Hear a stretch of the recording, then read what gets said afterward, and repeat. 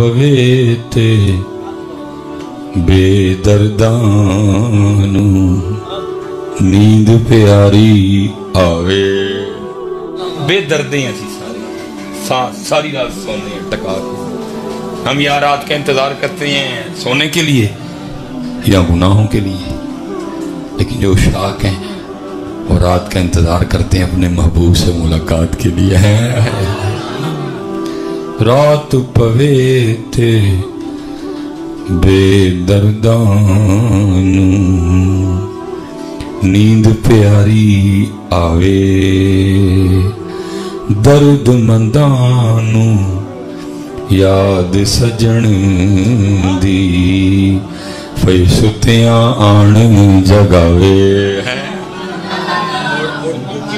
है कि आजकल मेरी कौम का हाल ये है कि उठने का टाइम है, हम उस वक्त तो सोते हैं हम उस वक्त तो इसलिए फिर किसी ने कहा था, रात के पिछले हिस्से में एक दौलत बटती रहती है।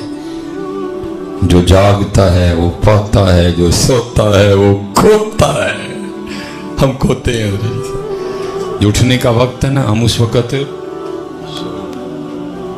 अल्लाह जल्ला शान हूँ, अपनी शान के मुताबिक आसमान दुनिया उलमा बैठे हैं हदीस है आवाजें अयू हसाइल है को मंगण वाला ਸਾਰੇ ਹੀ ਮੰਗਣ ਵਾਲੇ ਸੁੱਤੇ ਨੇ ਤੇ ਸਵੇਰੇ ਉੱਠ ਕੇ ਭੇਜ ਜੀ ਕਦੀ ਇਹਨਾਂ ਦਾ ਦਰਵਾਜ਼ਾ ਕਦੀ ਇਹਨਾਂ ਦਾ ਦਰਵਾਜ਼ਾ ਕਦੀ ਇਹਨਾਂ ਦਾ ਦਰਵਾਜ਼ਾ ਸਰਗੀ ਆਵਾਜ਼ਾਂ ਅਯੂ ਹਸਾਇਲ है कोई मांगने वाला है कोई तोबा करने वाला सुते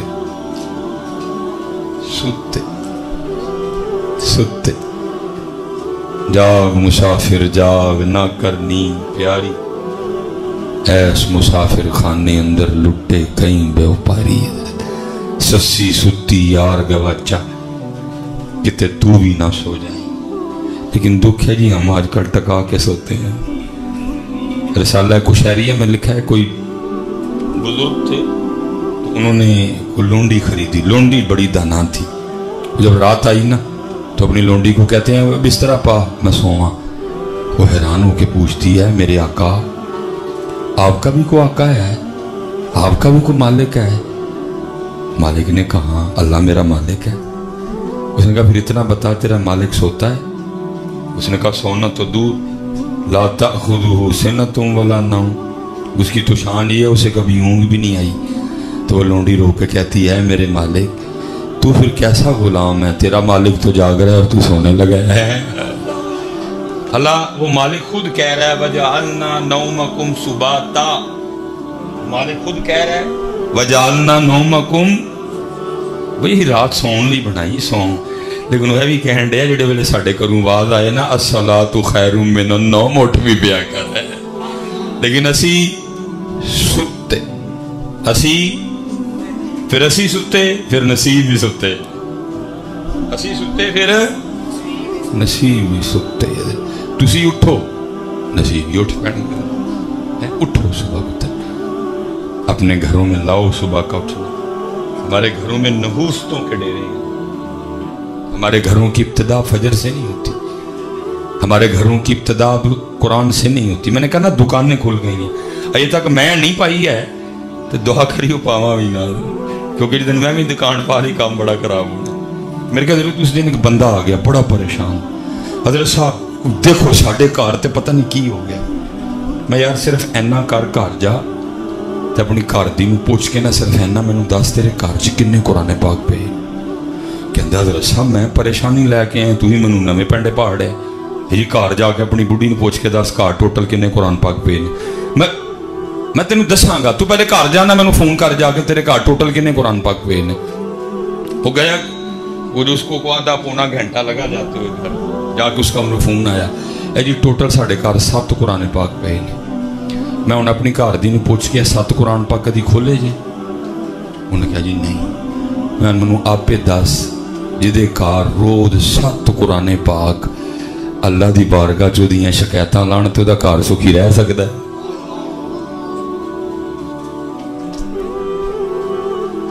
ਜਿਹਦੇ ਘਰ ਰੋਜ਼ ਸੱਤ ਕੁਰਾਨੇ ਪਾਕ ਅੱਲਾ ਦੀ ਬਾਰਗਾਹ 'ਚ ਉਹਦੀ ਸ਼ਿਕਾਇਤ ਲਾਣ ਮਾਲਿਕ ਫੋਨ ਨਹੀਂ ਛੱਡਦਾ ਜਾਂ ਅੱਲਾ ਖਬਰਾਂ ਨਹੀਂ ਛੱਡਦਾ या अल्लाह टीवी नहीं छड़ता तो मैनू कभी खोले ही नहीं जिसके घर में रोज सात कुरान पाक अल्लाह की बारगाह में उसकी शिकायत करें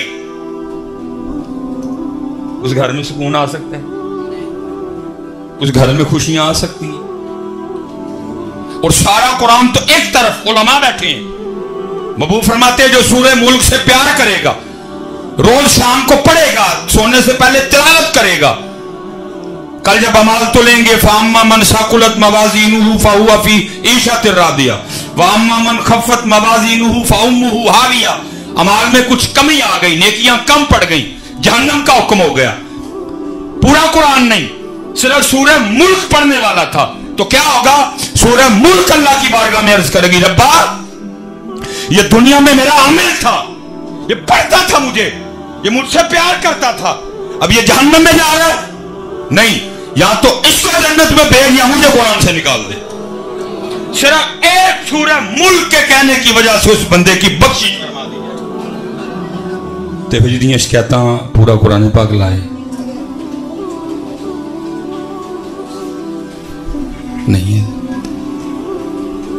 भाई, जागो और खोलो कुरान पाक मैंने फिर पूछा, मैं हूँ, ए, मैं दस, तेरे घर च मसले टोटल किन्ने पे ने उन्हें मसले भी गिन के दसे, मैं हूँ, ए, दस, तेरे घर टोटल तस्वीर किनिया पे तस्वीर गिन के दसिया मैं चलिया रोज जिदियाँ एनिया शिकायत, कुरान पाक सूर यासीन सूर मुजम्मिल, दरूद ताज मुसले तस्बियाँ उस घर च सुकून किमें आना है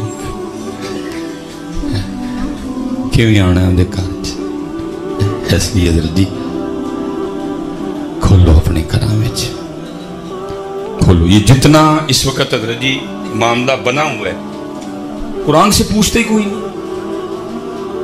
वो दानेश्वर वो दानेश्वर वो दानेश्वर वो दाने कुरान से पूछते कोई नहीं, ये सारा क्यों हुआ? अगर आप पूछते तो कुरान फिर उसका आपका यह जवाब देता, क्या? वमन जिक्री फाइन लहू धन का और जो हमारे ज़िक्र से मुँह बोलेगा हम उसकी मीशत को तंग कर देंगे। अब बताओ भाई, जिसकी मीशत को अल्लाह तंग करे, उसकी फिर मीशत कोई बोल सकता है? तब लेकिन दुख पता किस बात का है? आपको टेंशन ही कोई नहीं। आपको को आयत सुना दो, आपको को हदीस सुना दो, आपको को बुज़ुर्ग का कोल सुना दो, आपको टेंशन ही कोई नहीं। आज आपको कोई डॉक्टर बात कह दे। मैंने रज़ी डॉक्टर के कहने पे लोगों को अजवा खजूर तक छोड़ते देखा। इनको हदीस सुनाओ, कुरान सुनाओ, टेंशन ही कोई नहीं। उस दिन हज़रत, आपको पता आज पे लोग हैं, मैं माफिल पे बैठा हूँ अजवा खजूर जी, वो उसने अजवा खजूर नहीं, मैं आबे जमजम तो पी लागा खजूर नहीं मैं खानी कोई। मैं क्यों है नहीं, शुगर है डॉक्टर ने मना की थी। अला याद रखना भाई अजवा जी तो बड़ी शान है ना, महबूब ने दस्ते मुबारक से लगाई है। और मदीना की कोई खजूर भी हो तो इनकार ना करना। और पहली गाले जो खा के मारी जावांगे तो कल ही होएगा ना। फिर से कम अज कम ये तो कहेंगे ना, रब्बा वही है जो मदीने की खजूर खा के मरिया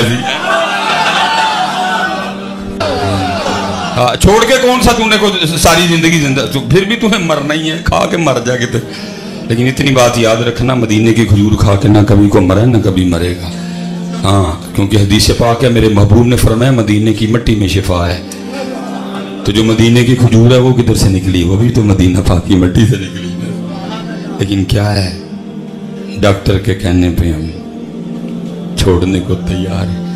कोई आज सुना दो, कोई हदीस सुना दो, किसी को परवाह कोई नहीं। डॉक्टर कह दे तो खजूर छोड़ देते हैं। परवाह ही नहीं किसी को नहीं। कुरान सुनाओ, किसी को परवाह ही नहीं। वमन नौरदान जिक्री फ़ैन लहू मीशतन धन का और जो हमारे ज़िक्र से मुँह मोड़ेगा, हम उसकी मीशत को तंग कर देंगे।